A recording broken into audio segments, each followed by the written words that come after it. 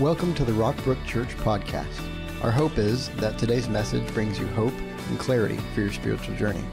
We love hearing how God is working in your life. Feel free to share any stories of how this message gave you a new perspective and hope. Email us at church at rockbrook.org to tell your story. Hey, good morning, everybody.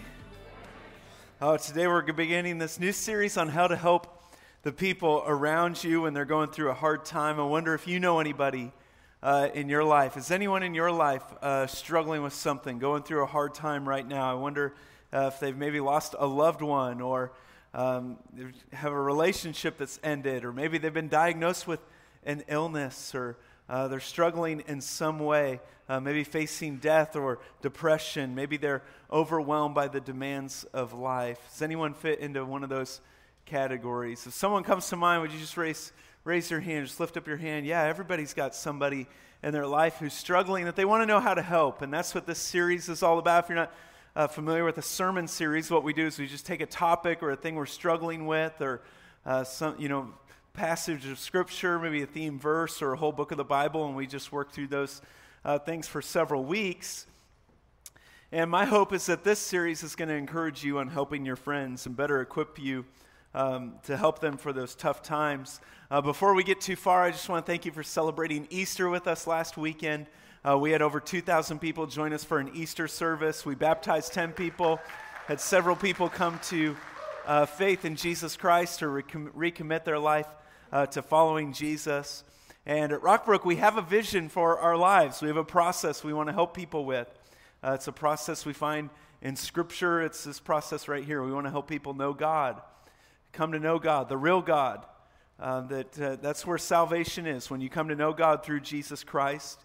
And so we want to introduce you to Him and uh, help you know Him. And if you know Him, we want to help you know Him better. That's what the weekend worship service is all about. And we want to help people find freedom because we all need it. We we all have hurts and habits and hangups that we need to break free from in our lives. We have wounds of things that we've done, things that have been done to us that we need to get untied from. And you can't do it alone. You have to do it with the help of other people. So we have people that uh, group together to help one another. Small groups, we call them. They give you a place to connect with other people who are following Jesus. And we're really serious about helping uh, people find freedom. So we also have Celebrate Recovery. Uh, that's a Christ centered recovery program that helps you uh, break free from addictions and hurts and, and hang ups. And then God uh, does things on purpose, uh, for a purpose. He has things He wants you uh, to discover about Him, discover uh, about uh, the world, discover about the church. And He wants His purposes to be known. So, our growth track is a way to help you uh, discover God's purposes for the church in your life. And it's a track that ultimately gets you on a team where you can start making a difference in Jesus' name. And so we have people on the team. We call them the Dream Team. And these are people that have uh, joined together uh, and working together to do something we can never do by ourselves as an individual. Individually, we are amazing, but together we're unstoppable. And these are the people that come together and, and serve multiple services and, and pull off an amazing Easter. And they're opening up their home and just so many amazing things. So, but the question this series asks is how do you help people personally through these things? How do you help someone uh, know God through the tough times in life? You know, when, when God wants to prepare soil for a seed, what does He do? He sends a storm. And the same thing is true in our lives that storms often uh, can prepare, uh, prepare us for a breakthrough, prepare us uh, for something that God has for us. So, how can we help people know God through the storm in their life? How can you help uh, your friends find freedom in the tough times of life? How can you help them discover purpose, that there is purpose in your pain, that pain is not purposeless? And how can you personally make a difference in someone's life? You know, you don't, you don't need a lot of friends. You just need a few good ones that are going to show up in the middle of a crisis. But my question is how many people around you today would say that in a crisis, they knew you would be there for them. In the middle of a crisis, they, they know that you would be there for them, whatever it took. And my guess is several people would say that about you. Because I know who I'm talking to today. I'm talking to Rockbrook. Uh, you guys love people amazingly. Uh, talking to people who showed up to a series about helping friends through tough times. Say, I want to help my friends. So I just, can you equip me a little bit or can you just show me what to do? Ecclesiastes 4 9 through 10 says, Two are better than one. If one falls down, his friend can help him up. But pity the man who falls and has no one to help him up. The Bible tells us that wise friends are a gift from God. So, what is the characteristic of a friend? Proverbs 17 17. Would you read this out loud with me? It says, Friends love through all kinds of weather, through all kinds of storms, through all kinds of things. So, we're going to look at the different storms that come into people's lives and we can, how we can help them through those tough times. In 1967, there were a couple of very well known uh, psychiatrists who did a study uh, that is now quite famous, it's world famous, where they were uh, studying to find the correlation or the connection between stress and illness. And they were trying to find if there really was a connection between severe stress in your life and a major illness. And Thomas Holmes and Richard Rock did a study of 5,000 medical patients. As a result, they developed uh, 43 common stressful events. And these are things that people go through in life, and they gave them, uh, just kind of rank them on a scale of 1 to 100, 1 being no stress, 100 being the most amount of stress uh, that you can have as a common thing in life. And uh, they discovered that anybody with over 300 points of stress was at risk of developing major illness in life uh, that year. And they concluded that the most stressful event in life was uh, the death of a spouse. That that's the, the, out of the common stresses, that's the most stressful thing you can experience in life, the death of a spouse. Many of you have, have gone through that. Uh, the second most stressful event is a divorce from a spouse, and the third most stressful event in life is separation from a spouse. And it's interesting to me that either however it happens, um, uh, the relationship ending or uh, happening in a marriage is one of the hardest things to go through. And this week, I want to talk to you about how to help, help a friend through that. And uh, I'm going to give you transferable principles that really, these will apply to however a good friend in your life is struggling. Um, but you would do well to specifically, if you have a friend who's struggling with the loss of a relationship, uh, to specifically apply this uh, to them. Uh, how do you help a person who maybe um, they fought the divorce, they didn't want it? How do you help them through that time? The fact is that uh, many people are part of a divorce they did not want. They opposed it, but they didn't have any choice. It takes two people to make a marriage last. Yeah, I, I wish you cannot save a marriage by yourself. I wish you could. I desperately wish you could. But you can't. Sometimes circumstances are beyond your control. And so, what we're going to do today is look at how do you help a friend go through a devastating time like the loss of a relationship.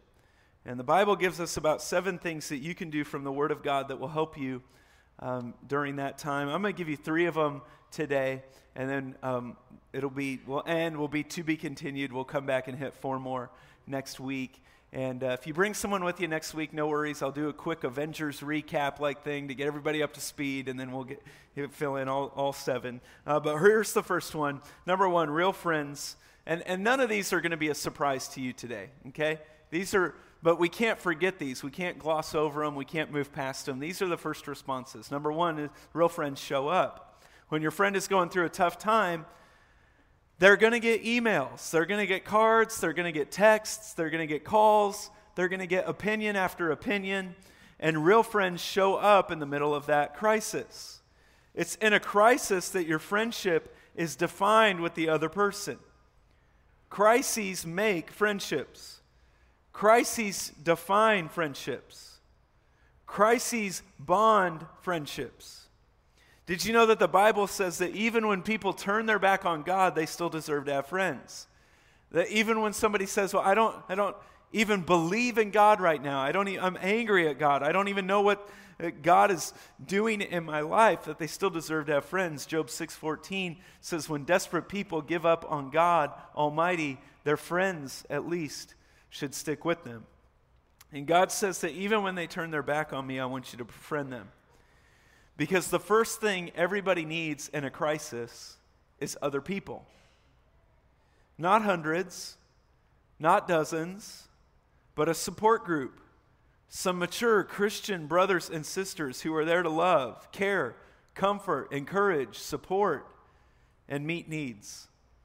This is why I just never stop talking about the importance of a small group and having uh, mature Christian brothers and sisters around you. I keep telling you if you're not in a group, you need to get in one because get in one now. Build a network, a safety network in your life so when the rogue winds of life come, you have genuine friends. But this series turns the tables. We need to not only be in groups to receive support, but to help other people. Not just to receive it, but to give it. That's the first thing that the people need in a crisis is other people. And we need to be there for other people. This is just unselfishness to build into other people's lives. So we're there for them in the tough moments. Because the first thing we need in crisis is other people. Now, maybe you say, wait a minute, don't you need to pray first? Like, isn't that the motto, pray first? Well, yeah, if you can. But it, it, truth is, in a crisis, we're usually under so much stress. A friend is under so much stress and shock, they don't know what to pray. And it's at that point you need other people praying for you. That's when, when you're in a crisis, you need other people. You need to say to them, We'll believe for you. We're, we're going to pray for you. We're going to be there for you because you can't even think straight in a crisis.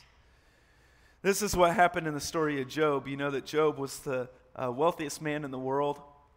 And uh, in a day, he loses everything. He loses his, um, his wealth and his family and loss of relationships and lost his resources and lost all of his health. He became very sick, and his friends did the right thing. Now, if you read the book of Job, uh, it goes haywire there for a while in the minute in the middle. Uh, his friends didn't always say the right thing, didn't always do the right thing, but at first they did do the right thing. Here's what they did, Job 2:11. When Job's three friends heard about all the troubles that had come upon him, they set out from their homes and met together by agreement to go and sympathize with him and comfort him. They formed a small group. They said, We're going to be with our, our friend Job and we're going to support him. We're just going to show up. And that's exactly what they did. And that's how you can be a friend. If you've earned that right in their life, you show up and just take care of stuff. So often, what we say to a friend in need is we'll say, if you need anything, let me know. But when someone is going through a trial and going through a crisis, they don't have the vision to delegate. They don't have the vision, uh, uh, or they don't need another thing to do by finding something for you to do. You just show up, you just take care of, of what you can, and just, just pray about it and see how can I help this person. Now, let me just say this message um, isn't about if you're in a crisis right now, but if you are in a crisis, please, as your pastor, I'm begging you, do not put people at arm's length. Do not shut people out. Do not uh, shell up. Do not build walls. You need people, particularly believers in your life during that crisis. And I would encourage you, if you're in a crisis, if you're in the middle of one right now, to go to Celebrate Recovery this Wednesday night. If you've plugged into a small group, but uh, you've kind of unplugged I'd encourage you to connect back and reach back out to them or get into a small group this next semester. Number one, you show up. The second mark of a true friend is you share their pain.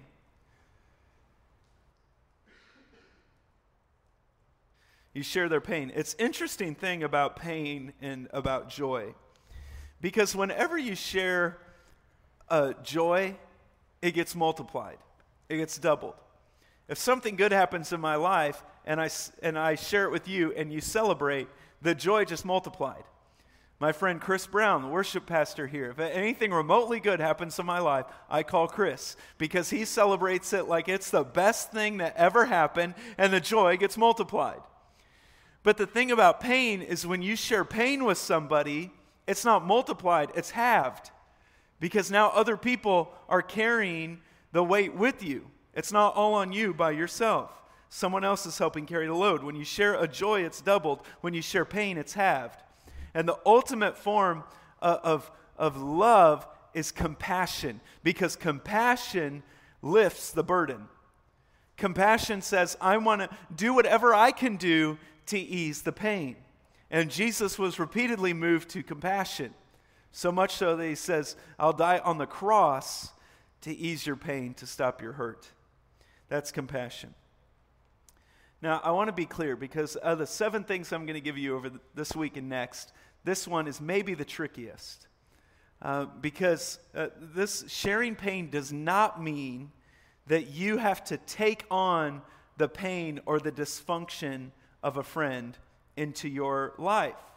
That you don't, you don't have to go through a relationship ending to relate to and help someone through the tough time of a relationship ending. You don't have to become depressed to help a friend with depression. You don't have to have the pain to have compassion. You don't have to have the pain to share in the pain and to identify with them. In fact, God may have put you in their life to be strong where they are weak, and they're going to be strong where you are weak. That's why you're friends. So you don't have to go through a tough time to share in a tough time, to be compassionate. Uh, let me show you what I mean. Compassion is exactly what Job's friends did right at first, Job 2 12 through 13. When they saw him from a distance, when his friends saw Job from a distance, they could hardly recognize him because of the illness, because of the pain that he's going through. They began to weep aloud, and they tore their robes and sprinkled dust on their heads, which was a way of showing sorrow and mourning. They're identifying, they're sharing the pain. They're saying, We're, en- we're entering into this with you. We're going to mourn with those who mourn. But notice it doesn't say that they went and destroyed their homes. They didn't have to go put themselves in the same circumstance, same situation to identify with, with his pain. Verse 13 Then they sat on the ground with him for seven days and seven nights. No one said a word to him because they saw how great his suffering was. I love this. What do friends do? They show up and they shut up. Friends, good friends are slow to speak. They're not quick to give advice. They're not quick to say something. They're not quick to say, certainly I told you so, or something hurtful. They're not even quick to say something helpful. Like in your small group, when someone shares a doubt or shares a pain or a struggle that they're going through, are, are you too quick to offer a solution? Are you too quick to offer a response? Or do you identify with them? Do you share in the pain first? Do you listen? Make sure you really hear and understand what they're saying, where they're coming from. Good friends are, are slow to speak. They share the pain first. They don't say, it's going to be okay. They don't even they don't even quote Bible verses at first. They don't say God works all things together for the good of those who love him. We do that later. But in these moments, they said, We're just going to sit here with you, Job. And they sat with him in silence for seven days. Have you ever done that with, for a half hour with somebody? Now, this one, again, this point is, is tricky. You got to have a lot of, dis- ask the Holy Spirit for discernment because this does not mean, particularly if you're helping a friend through a tough time like a divorce, sharing the pain with somebody does not mean uh, going over to their house or connecting with them and trash talking the person who has hurt them. Saying, well, he's no good anyway, or she's not worth it, or he, bad mouthing the ex. That's actually counterproductive. And most people who have gone through a relationship ending, most, most of them tell their counselor, eh, that was not helpful, that was harmful. I don't need to hear what a lousy person my husband or my wife is in those, those moments. And actually, friends, good friends are a proponent of marriage. Sharing the pain doesn't mean putting somebody else down, it just means I'm here to lift you up, I'm here to support you. I can't imagine what you're going through. And it, it hurts. You show up, you share their pain. The third thing uh, real friends do is support them with prayer. Because when they're going through a divorce, a death, a bankruptcy, anything else, you're going to want to pray for them. You're going to want to pray with them. You're going to want to pray over them, out loud with them. Does prayer really make a difference? You know, uh, in our nation, in our culture, prayer uh, is just getting mocked and laughed at more and more. Used to be that we had a goal to be a nation of prayer, and now uh, the idea of responding to a tragedy with prayer uh, is looked at as being uh, less than, is looked at as being foolish, is looked at as being not, not near enough or a bad response. And I can tell you exactly why that is. It's because it takes faith to pray. And if you don't have faith, it doesn't mean anything to you. It takes great faith to pray. Prayer is a demonstration of faith. And to respond with prayer takes faith. And we often ask, well, why pray? What's the point? Uh, when God knows the future, is already in control of everything, why pray? Well, we pray for a variety of, of reasons. Okay, Scripture tells us that prayer is a form of serving God, of obeying God. God commands us to pray. You read through the Gospels and you see Jesus thought it was worthwhile to pray. I read the other day that Jesus uh, went over to this mount to pray, and it had two words in there. He went over there to pray as usual. And those two words just stuck out to me that he's this was not an abnormal thing. That, that the writer isn't saying that he him going over there to pray was even that monumental. It was just what he usually did, as usual. I just underlined those two words and thought, if I'm not usually going to a place to pray, I'm not following Jesus because that's where Jesus was often headed, was as usual going there to pray. To pray. Jesus thought it was worthwhile to pray. In, in Ephesians uh, chapter 6, it says that prayer is the means of strengthening other people spiritually. That's how you strengthen someone spiritually is through prayer. And that prayer is not about trying to get our will, God to do our will on earth, prayer, but prayer is how God's will gets done on earth. Prayer is how God's will gets done on earth. And prayer is how we discern His will. Prayer makes a difference. And in one sense, prayer is like sharing the gospel with people. We don't know who's going to respond to the message of the gospel until we share it. In the same way, we're never going to see the results of prayer unless we pray. In my small group, uh, we put down prayer requests in a prayer app in our phone. And then we did a study one semester that uh, we put them in a book. We recorded them in a book, and then we took a break.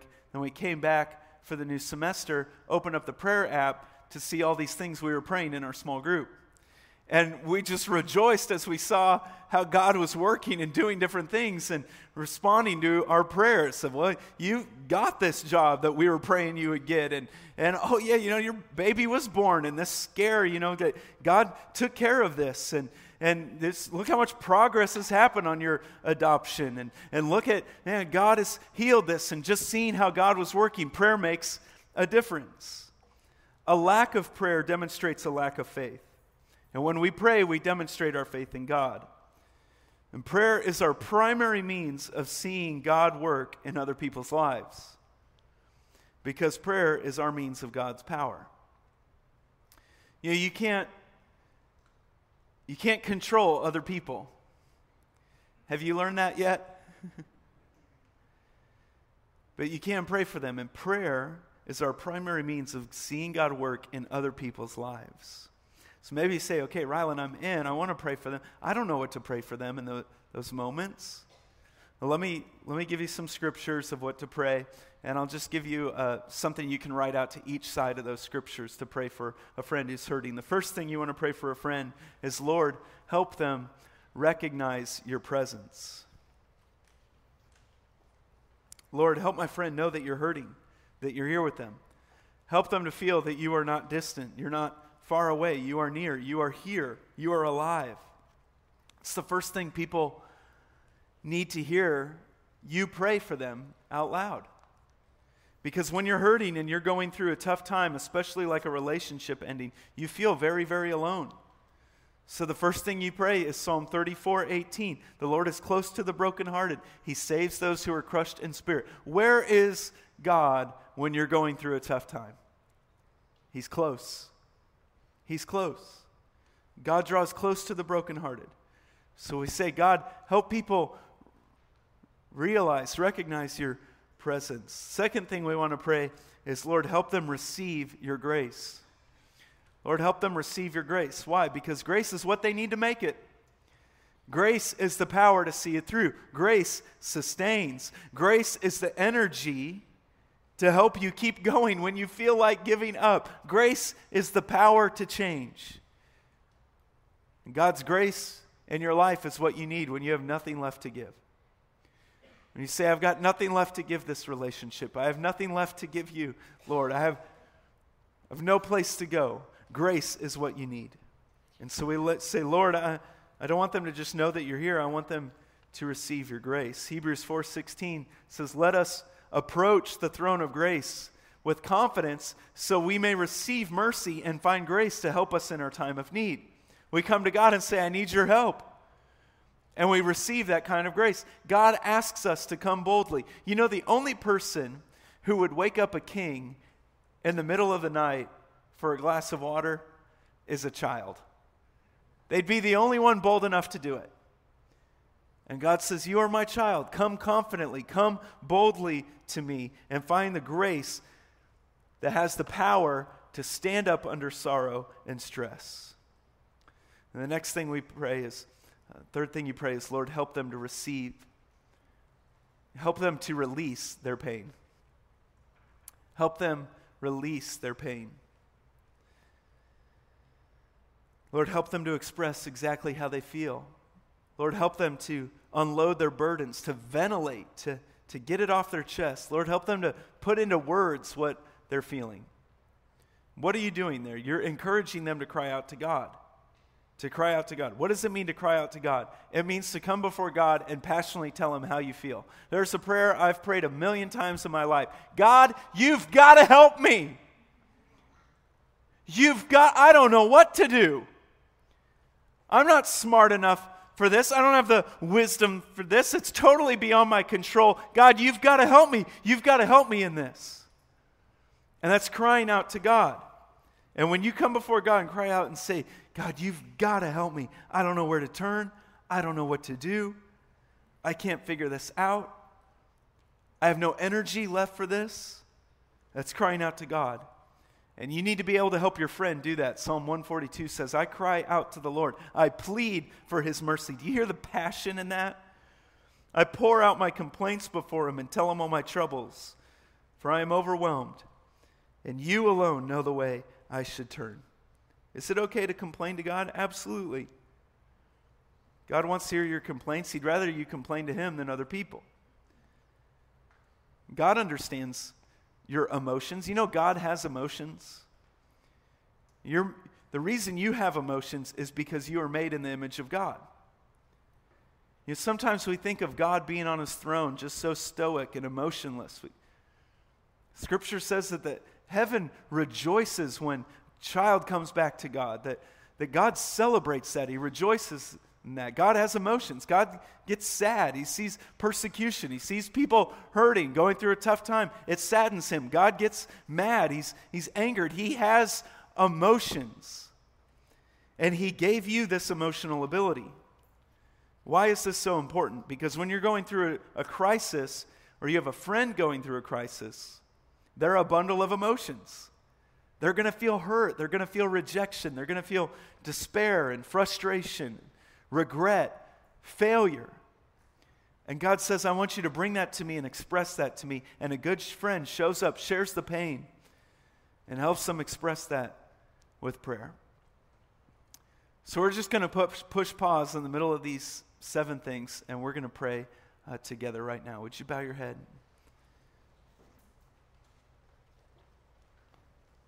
God, we're crying out to you. And God, we just say, we don't know what to do. Help us. Lord, help us. You put this desire in our heart um, to be a godly friend, a godly family member, but we can't do it alone. Help us.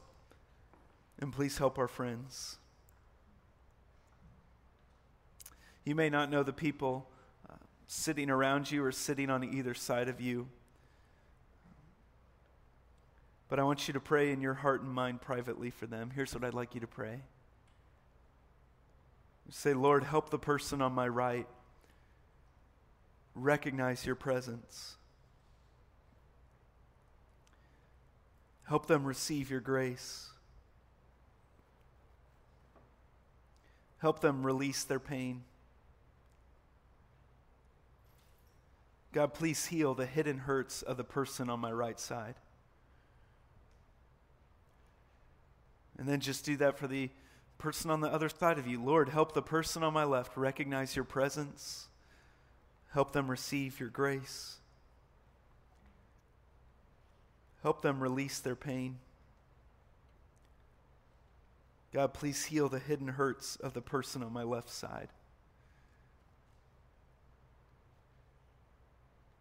It's in Jesus' name I pray. Amen. Thanks for joining us today. We would love for you to get connected to what's going on at Rockbrook Church. Visit us online at rockbrook.org for service times, small group information, and other ways you can discover your purpose here on earth.